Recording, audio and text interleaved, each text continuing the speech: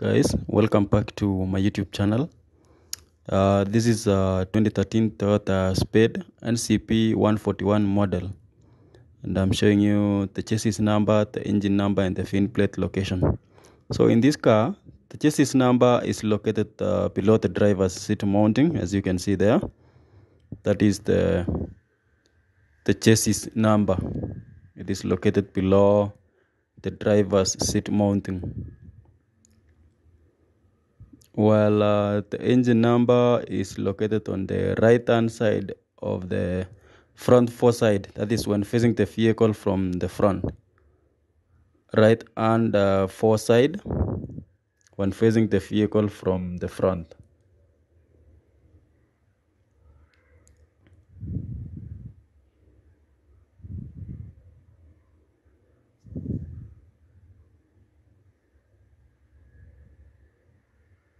so there you go.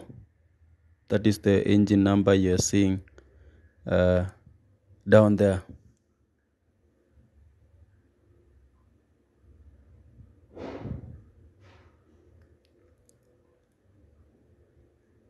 It is located on the right hand front foreside when facing the vehicle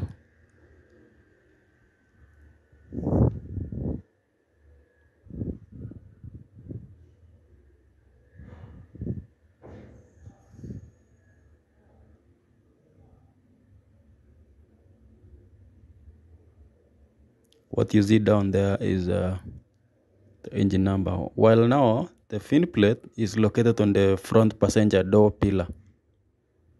So on the front uh, passenger door pillar so you can see the VIN plate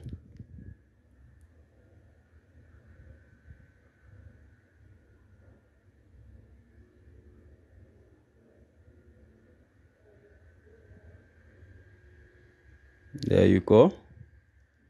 That is uh, the VIN plate of this uh, Toyota Spade